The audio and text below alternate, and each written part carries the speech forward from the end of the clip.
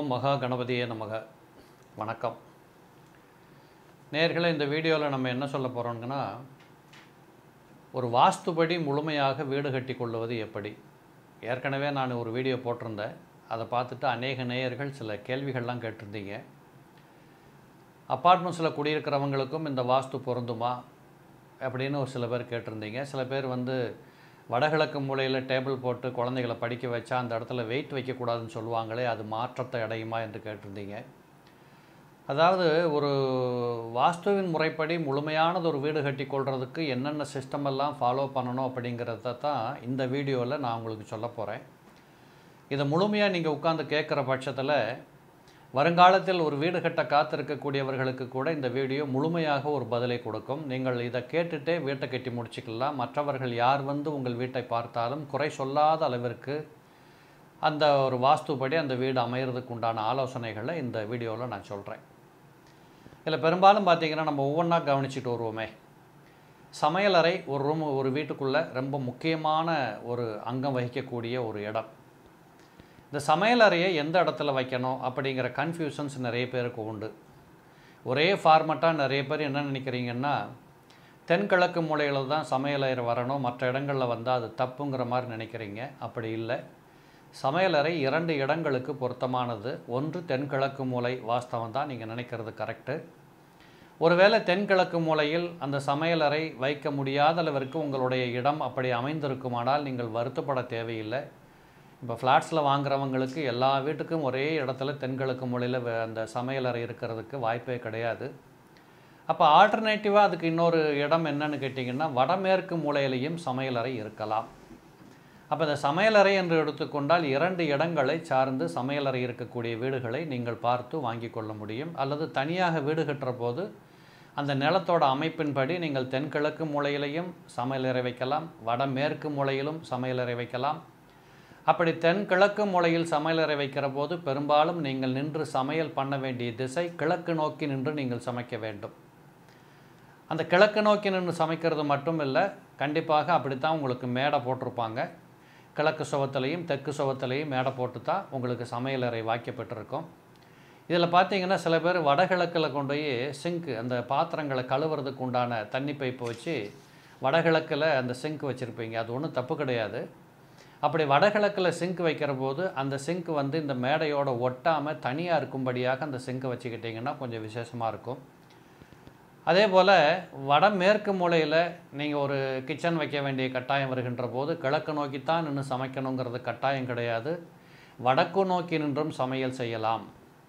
அப்போ வடக்கு நோக்கி இன்றைக்கி சமையல் பண்ணணுன்னா வடக்கு சுவத்துலேயும் கிழக்கு சுவத்துலேயும் சில பேர் மேடை போடுவாங்க.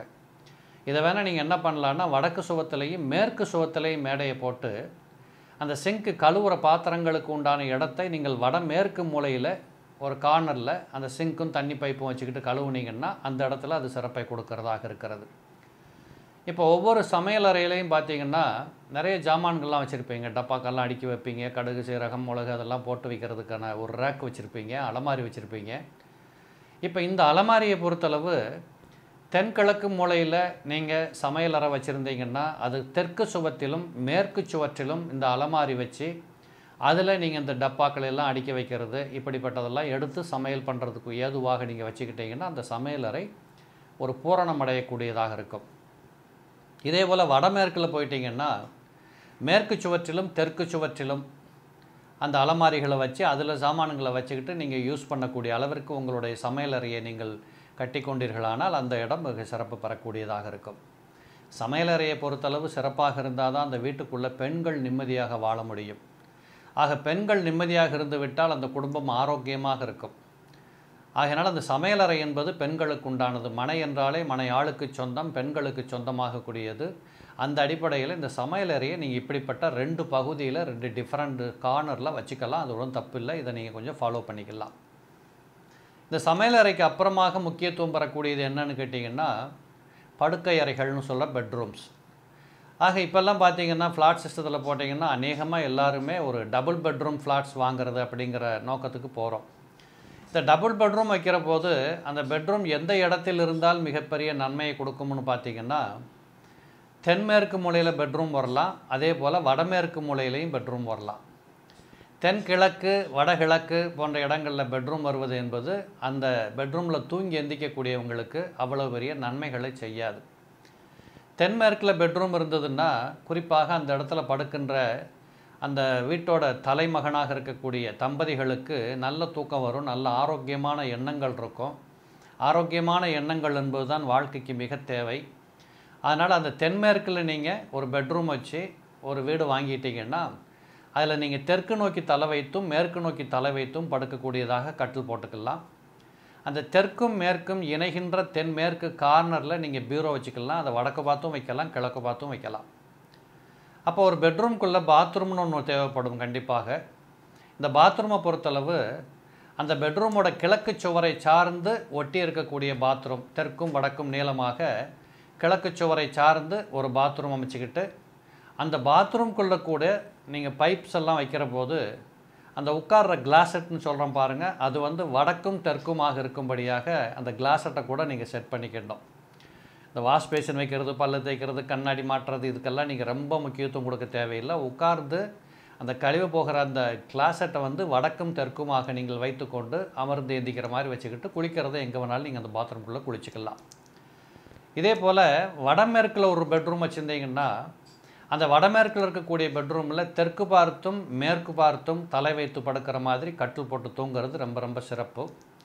அதே போல் உங்களுடைய பீரோ அல்லது துணிமணிகள் வைக்கக்கூடிய இடங்கள் இது எல்லாத்தையுமே மேற்கு சுவரை சார்ந்து வைத்துக்கொள்வது என்பது மிகப்பெரிய சிறப்பை கொடுக்கும். ஏன்னா வடமேற்கில் பார்த்தீங்கன்னா அந்த மேற்கு கார்னரில் போய் ஜன்னல் வைக்க அனுமதிக்கிறது இல்லை அதனால் அந்த அந்த ஓரத்தில் ஒரு கப்போர்டு வச்சுக்கிறது வாட்ரூஃப் வச்சுக்கிறது இப்படிலாம் வச்சுக்கிட்டிங்கன்னா அந்த பெட்ரூமும் கண்டிப்பாக நல்ல சிறப்பாக இருக்கும். ஒருவேளை அந்த பெட்ரூம்குள்ளே ஒரு பாத்ரூம் தேவைப்படுகிற பட்சத்தில் தெற்கு சுவத்தை சார்ந்து ஒரு பாத்ரூம் வச்சுக்கணும் இல்லை மேற்கிலோ வடக்கிலோ கிழக்கிலோ பாத்ரூமை கொண்டு போகாமல் வீட்டை விட்டு வெளியே நீண்டு இருக்கக்கூடாத அளவுக்கு பார்த்துக்கிட்டு தெற்கு சுவரை சார்ந்து ஒரு பாத்ரூம் வச்சுக்கிட்டிங்கன்னா அந்த ரூம் பக்காவாக உங்களுக்கு ரெடி ஆகிடும் இப்போ நல்லா நிறைய வீடுகளில் வந்து பிள்ளைங்களை எங்கே உட்கார வச்சு படிக்க வைக்கிறதுன்னு ஒரு ஒரு ஒரு சிஸ்டம் இருக்குது நிறைய பேர் கேட்கிற கேள்விகளில் அதுவும் ஒன்று. பெரும்பாலும் பிள்ளைகளை நீங்கள் வடகிழக்கு மூலையில் உட்கார வச்சு படிக்க வைக்கிறது சிறப்பாக இருக்கும். அதுவும் வடக்கு நோக்கி உட்கார்ந்து படிக்க வைக்கிறது சிறப்பாக இருக்கும். அப்போ வடக்கு நோக்கி குழந்தைகள் உட்கார்ந்து படித்தாலே அந்த குழந்தைகளுக்கு கொஞ்சம் கான்சன்ட்ரேஷன் எக்ஸ்ட்ரா வரும். அமைதித்தன்மை ஏற்படும். கோபகுணங்கள் குறையும். ஏற்றுக்கொள்ளுகிற மனப்பக்குவம் உருவாகக்கூடியதாக இருக்கும். தன்னுடைய பொறுப்புகளை புரிந்து கொண்டு செயலாற்றக்கூடிய எண்ணங்களுக்கு உட்பட்ட பிள்ளைகளாக மாறுவாங்க. இதெல்லாமே அந்த வடக்கு நோக்கி ஒரு குழந்தைய வடகிழக்கு முறையில் உட்கார வச்சு படிக்க வச்சிங்கன்னா அந்த குழந்தைகளுக்கு கல்வி மேலே ஒரு ஆசை ஏற்படக்கூடியதாக இருக்கும். வடகிழக்கு முனையில் ஒரு வேளை பெட்ரூம் இருந்தால் என்னாகும்னு கேட்டிங்கன்னா அந்த அறை என்பது வயதானவர்களுக்கு மிகச் சிறப்பை கொடுக்கும். இப்போ வாழ்க்கையில் ரிட்டையர்ட் ஆனதுக்கப்புறம் சில பேர் இருக்கிறாங்கல்ல தாய் தகப்பனார் பாட்டி தாத்தா இப்படிப்பட்டவர்களை அந்த வடகிழக்கு மூலையில் போய் நீங்கள் ஒரு கட்டில் போட்டு படுக்க வச்சிங்கன்னா அவங்களும் சலனம் இல்லாமல் சஞ்சலம் இல்லாமல் கோபம் இல்லாமல் ஒரு குடும்பத்தோட அனுசரணையாக வாழக்கூடிய வாய்ப்புகளுக்கு வருவாங்க. சில குடும்பங்களில் பார்த்தீங்கன்னா பெரியவங்க வயசானவங்களோட மிகப்பெரிய சிக்கல் சிரமங்கள் ஏற்பட்டு குடும்பத்துக்குள்ள வ மனஸ்தாபங்கள் ஏற்படக்கூடிய செய்திகள் இருக்கிறத பார்க்குறோம். அதெல்லாம் இல்லாமல் இருக்கணும்னா வடகிழக்கு மூலையில் இந்த மாதிரி ஒரு பெட்ரூம் இருந்து அவர்களுக்கு அந்த இடத்தை ஒதுக்கி கொடுத்து விட்டால் நன்மை. ஒரு லைப்ரரி வேணும் ஒரு மியூசிக் ரூம் வேணும்னு ஆசைப்பட்டீங்கன்னா அதையும் இந்த வடகிழக்கு மூலையில் நீங்கள் வைத்துக்கொள்வது மிகப்பெரிய சிறப்பை கொடுக்கும்.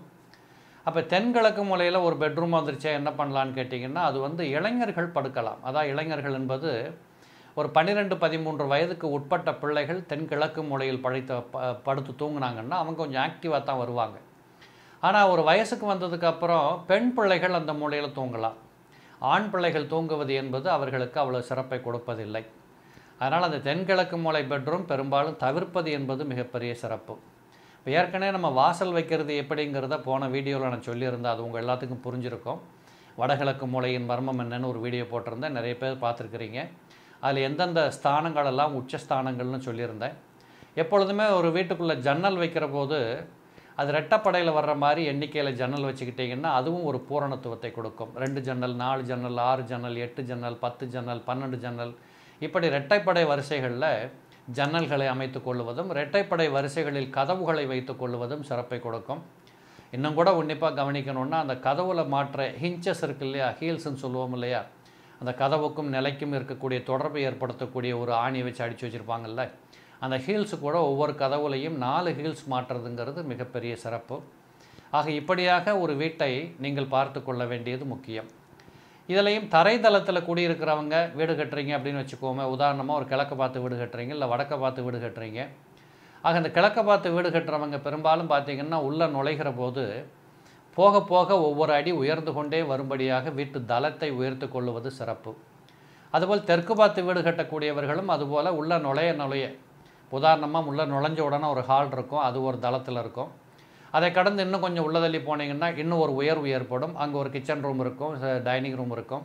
இப்படி அந்த தரைதளத்தை போக போக உயர்த்து கொண்டே போகிறது. அரை அடி முக்கால் அடி அரை அடி முக்கால் அடி உயர்த்திக்கிட்டே போனீங்கன்னா அதுவும் வாஸ்துவுக்கு மிகப்பெரிய சிறப்பு.